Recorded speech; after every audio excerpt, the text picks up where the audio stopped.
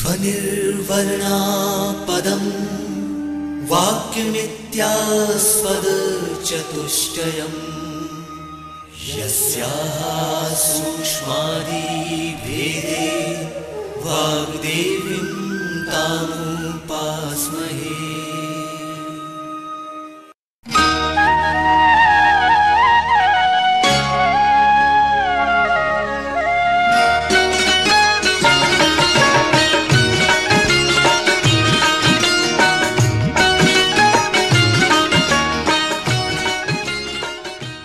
मध्य प्रदेश भोज मुक्त विश्वविद्यालय का इलेक्ट्रॉनिक माध्यम निर्माण और शोध केंद्र ईएमपीआरसी प्रस्तुत करता है। समाज कार्य विषय पर आधारित ध्वनि कार्यक्रम, सामाजिक संगठन और सामुदायिक विकास। ये कार्यक्रम एमएसडब्ल्यू पाठ्यक्रम के द्वितीय वर्ष के विद्यार्थियों के लिए द्वितीय प्रश्न पत्र समाज कार्य की समेकित विधिया पर आधारित है। कार्यक्रम के विषय विशेषज्ञ हैं डॉक्टर एस आर बिल्लोरे। इस कार्यक्रम का ध्वनियांकन, संपादन और प्रस्तुतिकरण किया है अमर बहादुर यादव ने। तो लीजिए सुनिए ध्वनि कार्यक्रम, सामाजिक संगठन और सामुदायिक विकास।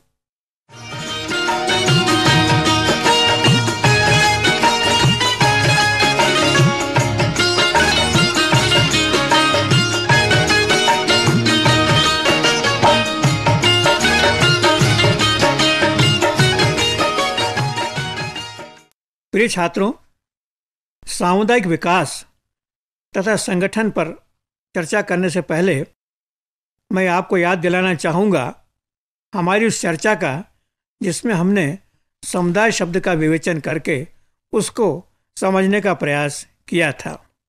जैसा कि हमने चर्चा की थी, समुदाय अर्थात एक निश्चित भूभाग, इसमें कुछ लोग निवास करते हैं और वो अपने जीवन की कुछ सामान्य आवश्यकताओं को परस्पर शेयर करते हैं, बांटते हैं।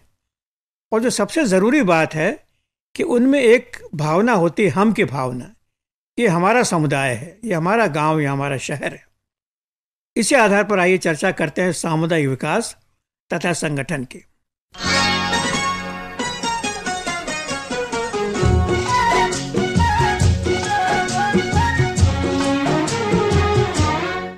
केवल शाब्दिक रूप से देखें तो सामुदायिक विकास का अर्थ होता है समुदाय का विकास।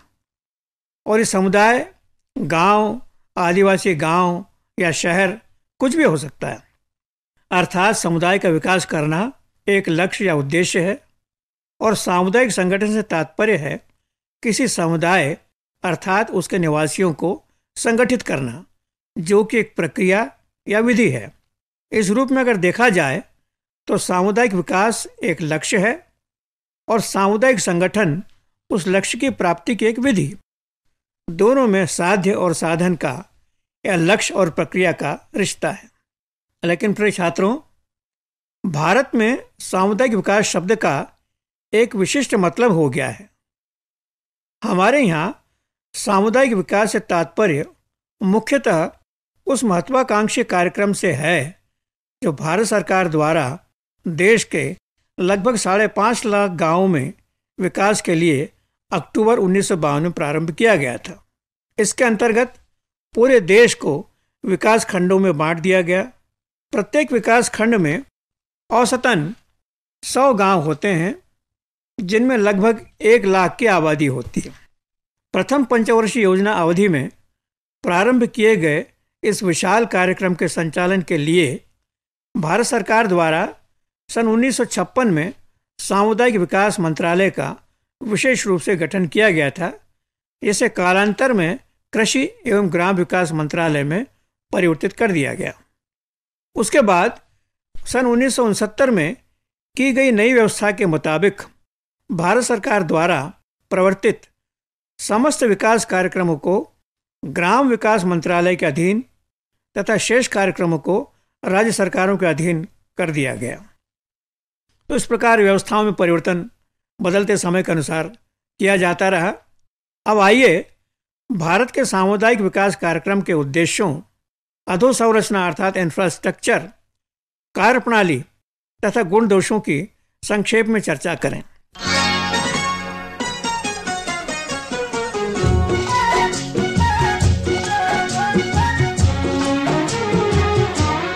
भारत सरकार के सामुदायिक विकास कार्यक्रम को संचालित करने वाले मंत्रालय द्वारा इस कार्यक्रम के आठ लक्ष्य बताए गए हैं, जो इस प्रकार हैं। लक्ष्य नंबर एक, जो सबसे कठिन माना जाता है, ग्रामीण जनता के दृष्टिकोण में परिवर्तन लाना। लक्ष्य दूसरा, गाँव में नेतृत्व विकास, अर्थात लीडरशिप डेवलपमेंट और इसमें उद्देश्य यह है कि गाँव से ही लोग आगे आएँ और उनमें नेतृत्व गुणों का विकास हो प्रशिक्षण के द्वारा। तीसरा लक्ष्य गाँव को आत्मनिर्भर और प्रगतिशील बनाना। प्रगतिशील से मतलब उनके सोच में प्रगतिशीलता का समन्वय करना, ये उद्देश्य। ये भी बहुत आसान काम नहीं है। लक्ष्य क्रमांक चार, गाँव की जनता की आर्थिक प्रगति के लिए कृषि का आधुनिकीकरण करना और ग्रामोद्योगों और कुटीर उद्योगों का विकास। पांचवा लक्ष्य, ग्रामीण महिलाओं तथा परिवारों की उन्नति। और इसमें खास तौर से प्रौढ़ शिक्षा पर विशेष रूप से ध्यान देने की बात की गई। अगला लक्ष्य, बाल विकास। सभी प्रकार के बच्चे, उन बालकों का शारीरिक और मानसिक विकास। सातवां लक्ष्य, गाँव में पढ़ाने वाले शिक्षकों के हितों की रक्षा। और आठवां उद्देश्य, ग्रामीण स्वास्थ्य और बीमारियों की रोकथाम। और ग्रामीण स्वास्थ्य के लिए आवास योजनाओं का निर्माण करना, बीमारियों की रोकथाम के लिए प्रयत्न करना, कार्यक्रम चलाना, जागृति के जन जागरूकता के और उनके उपचारों के लिए अधोसंरचना का निर्माण करना। तो ये आठ प्रमुख उद्देश्य निर्धारित किए गए भारत में सामुदायिक विकास के। अब आइए एक निगाह डालें इन उद्देश्यों की पूर्ति के लिए किस प्रकार का ढांचा निर्मित किया गया इंफ्रास्ट्रक्चर या किस प्रकार की अधोसंरचना का निर्माण किया गया।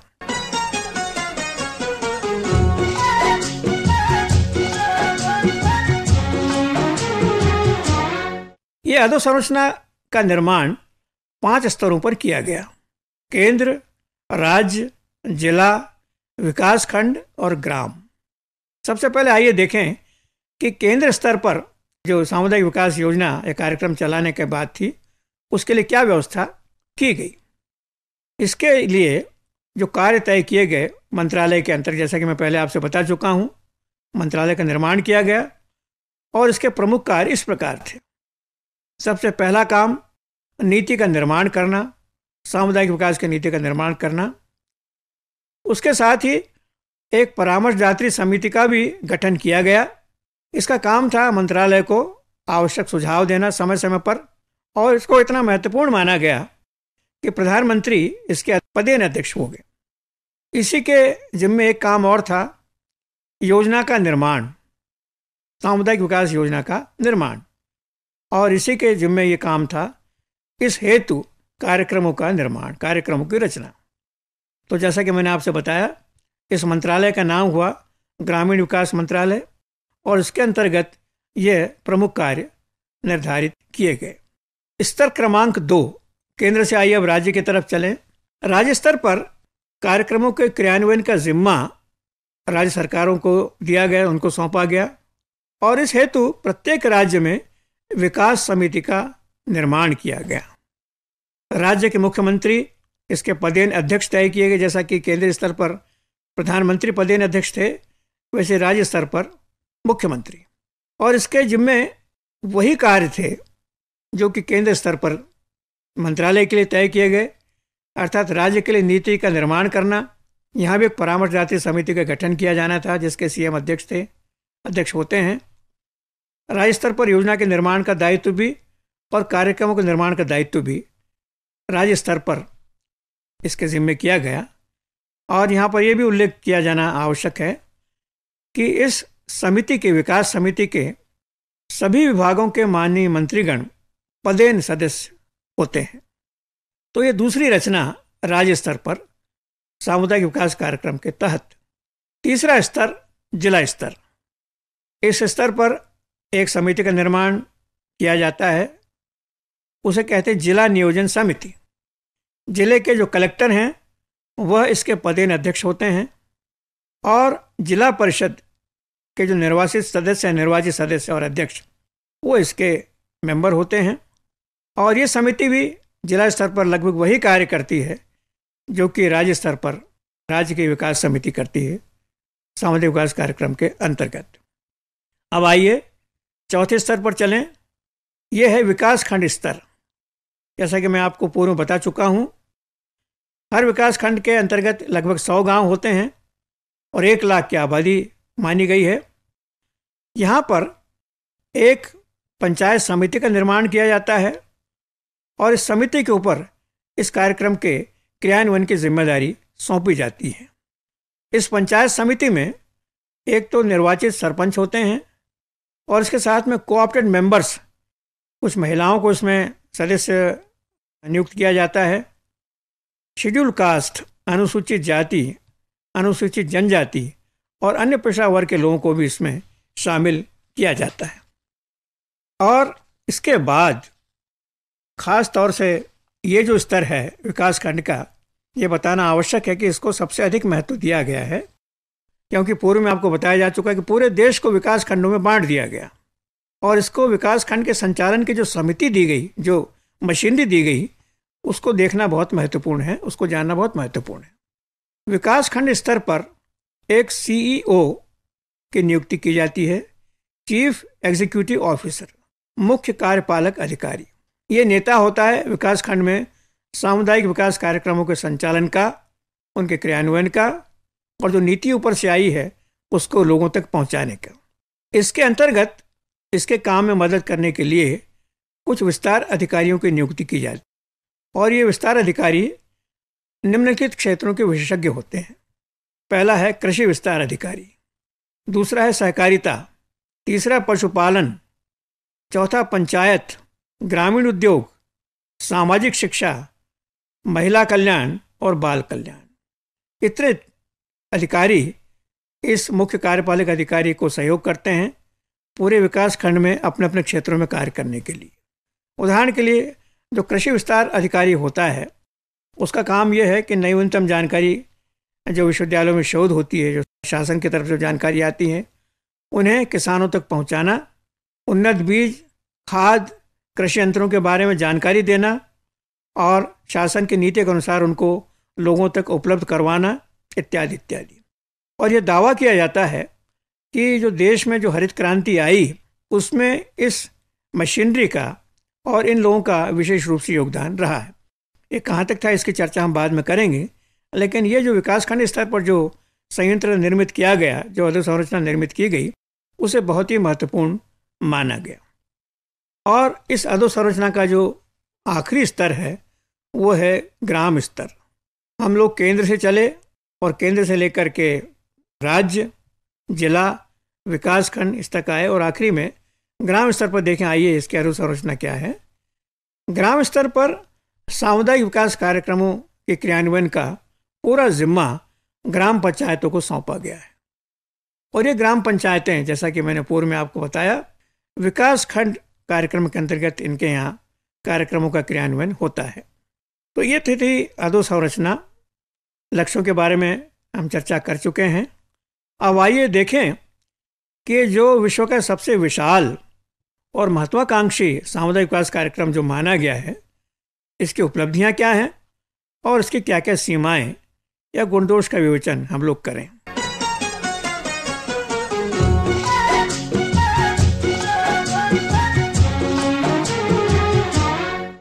सबसे पहले देखें कि इस कार्यक्रम की उपलब्धियाँ क्या हैं। पहला इस बात का दावा किया जाता है कि आज देश में कृषि क्षेत्र में जो भी प्रगति हुई है, और दो दो बार हरित क्रांतियाँ इस देश में हुई हैं, श्वेत क्रांति हुई है, इसका बहुत बड़ा जो कहना चाहिए कि क्रेडिट या श्रेय इस कार्यक्रम को दिया जाना चाहिए। इसी के अंतर्गत उन्नत बीज, खाद, इनका, इनकी जानकारी दी गई, कृषकों को सिंचाई के साधन उपलब्ध करवाए गए। खेती के आधुनिक उपकरण तक लोगों की जानकारी पहुंचाई गई, लोगों को जानकारी पहुंचाई गई उनकी। पशुओं के नस्ल में सुधार इत्यादि इस तरह के कार्यक्रम चलाए गए और आज भी चल रहे तो खेती, बागवानी और पशुधन, इन तीनों क्षेत्रों में इसका योगदान विशेष रूप से महत्वपूर्ण माना जाता है। दूसरा है यातायात में सुधार। सड़कों का नई नई सड़कों का निर्माण, सुधार, पुलों का निर्माण और आजकल जो प्रधानमंत्री सड़क निर्माण योजना चल रही है, उससे भी काफ़ी उपलब्धियों का दावा किया जा रहा है। तीसरी उपलब्धि हुई स्वास्थ्य के क्षेत्र में। पूरे देश में प्राथमिक स्वास्थ्य केंद्रों, प्राइमरी हेल्थ सेंटर का नेटवर्क स्थापित किया गया है। इस प्रकार के दावा है और ग्रामीण स्वास्थ्य और साफ़ सफ़ाई के विशेष कार्यक्रम चलाए गए हैं। और इन क्षेत्रों में भी काफ़ी स्तर ऊँचा उठा है। चौथा, शिक्षा का प्रचार प्रसार इस कार्यक्रम के माध्यम से। आप तो जानते ही हैं कि हमारे संविधान में मुख्य रूप से जो प्राइमरी एजुकेशन है free and primary education compulsory, उसके क्रियान्वयन के लिए इस कार्यक्रम में भी काफ़ी सुधार किए गए और इस बात का प्रयास किया गया कि कम से कम प्राथमिक स्तर तक बालकों को अपने गाँव से ज़्यादा दूर न जाना पड़े। उसके बाद में रोज़गार के क्षेत्र में भी काफ़ी प्रगति हुई, ऐसा दावा इस योजना के द्वारा किया गया है। खास करके कुटीर उद्योग, ग्रामोद्योग, उदाहरण के लिए जैसे हाथ करघा है या छोटे छोटे उद्योग हैं, उनके लिए ऋण उपलब्ध करवाना, उनके मार्केटिंग की व्यवस्था करना, कारीगरों और जो बुनकर लोग हैं, उनके सहकारी समितियों की स्थापना करना इस प्रकार की योजनाएँ चलाई गई हैं और इनसे भी कारीगरों को, मजदूरों को काफ़ी लाभ हुआ है। इस बात का दावा किया जाता है। आवास योजना के तहत सर्वसुलभ मकान, कम लागत वाले मकान के निर्माण को प्रोत्साहन देना, उसके लिए शासकीय ऋण उपलब्ध करवाना, इस प्रकार के कार्यक्रम चलाए जा रहे हैं और चलाए गए। मनोरंजन के क्षेत्र में सामुदायिक मनोरंजन केंद्रों की स्थापना की गई है, जहाँ पर टीवी उपलब्ध है ग्रामीण मेलों का आयोजन किया जाता है, जिसमें शासकीय योजनाओं का प्रचार प्रसार भी होता है। और न्यूट्रिशन के क्षेत्र में, खास करके पोषण के क्षेत्र में, महिलाओं और बच्चों के लिए ये जो आंगनवाड़ी और बालवाड़ी कार्यक्रम चल रहे हैं, इनसे भी इन वर्गों को काफ़ी लाभ मिला है। तो ये दावे इस योजना के क्रियान्वयन के आधार पर किए जाते हैं।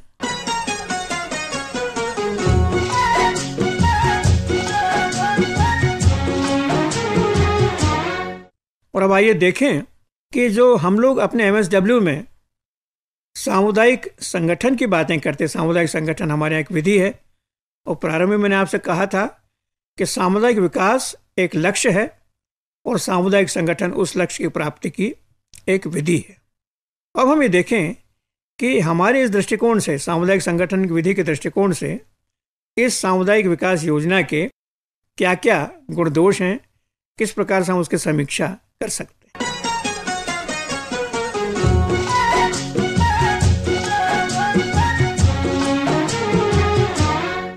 सबसे पहला लक्ष्य। और इससे पहले कि मैं इन दोनों की तुलना करूँ, मैं आपको फिर से याद दिलाना चाहूँगा सामुदायिक संगठन प्रक्रिया की परिभाषा के बारे में जिसकी चर्चा हम पहले कर चुके हैं। आइए एक बार फिर से उसको देखें। रॉस महोदय ने सामुदायिक संगठन प्रक्रिया की जो परिभाषा की है, उनके अनुसार सामुदायिक संगठन एक प्रक्रिया है जिसके द्वारा एक समुदाय अपनी आवश्यकताओं या उद्देश्यों की पहचान करता है। इन आवश्यकताओं या उद्देश्यों को प्राथमिकता के आधार पर क्रमबद्ध करता है। उनकी पूर्ति के लिए अपना विश्वास तथा इच्छा शक्ति विकसित करता है और आंतरिक तथा बाह्य संसाधन जुटाता है। तत्पश्चात आवश्यक कार्रवाई करता है और यह सब करते हुए समुदाय में सहयोग मूलक मनोवृत्तियों और व्यवहार का विस्तार एवं विकास करता है। तो अंतिम लक्ष्य इस परिभाषा के अनुसार क्या है? समुदाय में अर्थात लोगों में परस्पर सहयोग को विकसित करना, एक दूसरे की मदद करें, मिलजुल करके काम करें और आपस में सद्भावनाओं का प्रचार प्रसार हो। इस सामुदायिक संगठन की प्रक्रिया के परिप्रेक्ष्य में अब आइए हम करें समीक्षा। भारत में चल रहे सामुदायिक विकास कार्यक्रम की, जिसके बारे में संक्षिप्त जानकारी अभी मैंने आपको दी।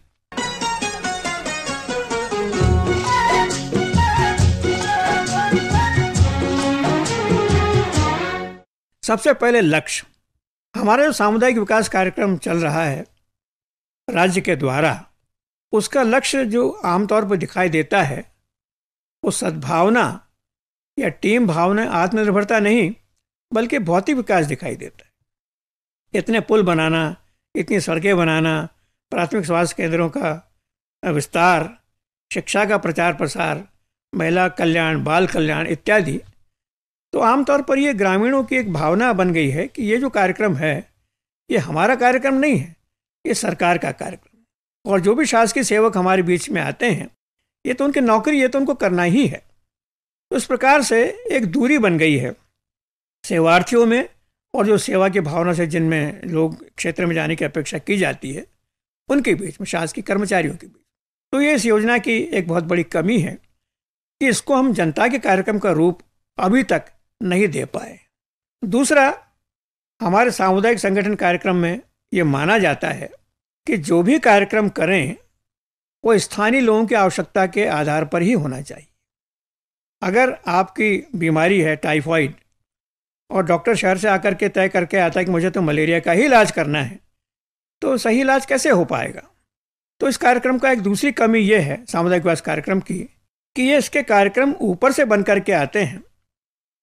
नीचे से इनका उद्भव नहीं होता है। अर्थात, जनसाधारण की आवश्यकताओं के अनुसार कार्यक्रमों का निर्माण नहीं होता है। तो जब आवश्यकताओं का जब पता ही नहीं है, उनके पता करने की कोशिश भी नहीं होती है तो जनता से सहयोग की अपेक्षा करना भी व्यर्थ है। इसी तरह से एक और बात जो हमारे ध्यान में आई है, वो है संसाधन। सामुदायिक संगठन कार्यक्रम में, हमारी प्रक्रिया में साधनों को जनता के द्वारा ही जुटाया जाता है। भले वो समुदाय के अंतर्गत हो साधन, या कहीं बाहर से लाए जाए, लेकिन इसके लिए भी जनता को ही प्रयास करना पड़ता है। तभी जनता उनके व्यवस्थित उपयोग में रुचि रखेगी। सामुदायिक विकास कार्यक्रम में सारे के सारे साधन, सारे के सारा पैसा, सारे के सारे उपकरण शासन द्वारा ही प्रोवाइड किए जाते हैं।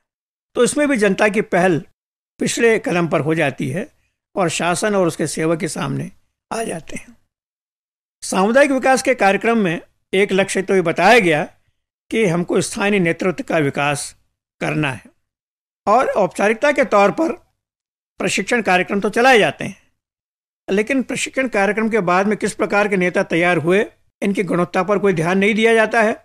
और नेता तैयार करना और बात है, और कार्यक्रमों के क्रियान्वयन में उनका उपयोग करना, उनको आगे लाने की प्रयास करना, ये दूसरी बात। तो नेतृत्व प्रशिक्षण तो हो रहा है, लेकिन नेतृत्व प्रोत्साहन नहीं हो पा रहा है। तो शासकीय योजनाओं क्रियान्वयन में स्थानीय नेतृत्व का योगदान बढ़ाना होगा, तभी इस कार्यक्रम की सार्थकता सामने आएगी। उसके बाद में आमतौर पर तमाम निर्णय, चाहे वो ब्लॉक स्तर का हो, चाहे गाँव स्तर का हो, या जिला स्तर का हो, शासकीय मशीनरी द्वारा ही लिया जाता जनता की भागीदारी उसमें बहुत कम होती है। तो ये भी आवश्यक है कि जनता की आवाज़ बरोबर सुनी जाए और तदनुसार, आवश्यकतानुसार कार्यक्रम में परिवर्तन किया जाए। तो ये इसका एक बड़ा, कहना चाहिए, कमी है।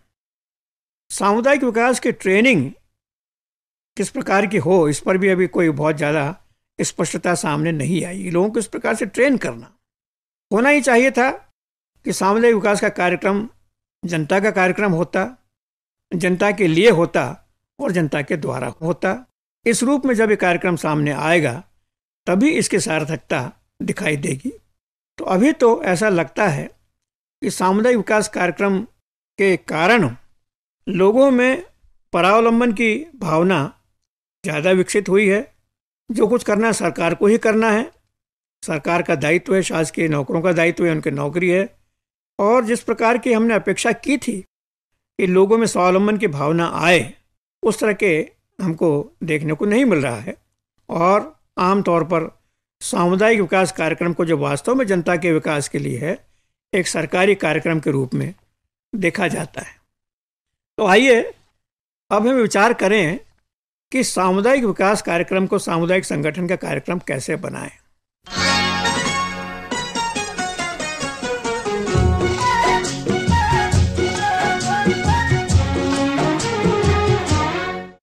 इसके लिए सबसे बड़ी आवश्यकता तो ये है कि जो भी कार्यक्रम तैयार हों, उसमें जनता की आवश्यकताओं का ध्यान रखा जाए, उन आवश्यकताओं की प्राथमिकताएँ तय की जाएँ और उसके हिसाब से ही कार्यक्रमों का निर्माण हो।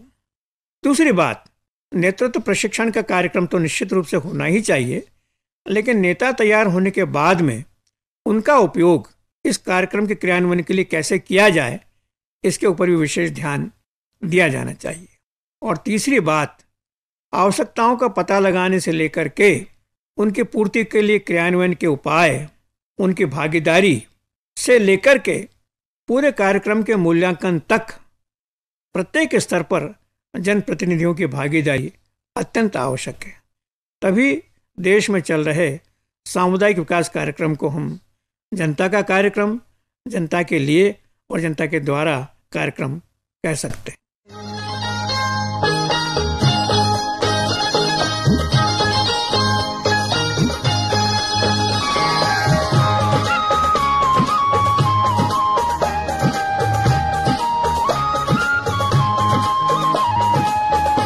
अभी आप सुन रहे थे समाज कार्य विषय पर आधारित ध्वनि कार्यक्रम, सामाजिक संगठन और सामुदायिक विकास। कार्यक्रम के विषय विशेषज्ञ और वार्ताकार थे डॉक्टर एस आर बिल्लोरे। उद्घोषिका थी अनुराधा गोस्वामी। इस कार्यक्रम का ध्वनि मुद्रण, संपादन और प्रस्तुतिकरण किया अमर बहादुर यादव ने। ये कार्यक्रम मध्य प्रदेश भोज मुक्त विश्वविद्यालय के इलेक्ट्रॉनिक माध्यम निर्माण और शोध केंद्र ईएमपीआरसी द्वारा निर्मित किया गया।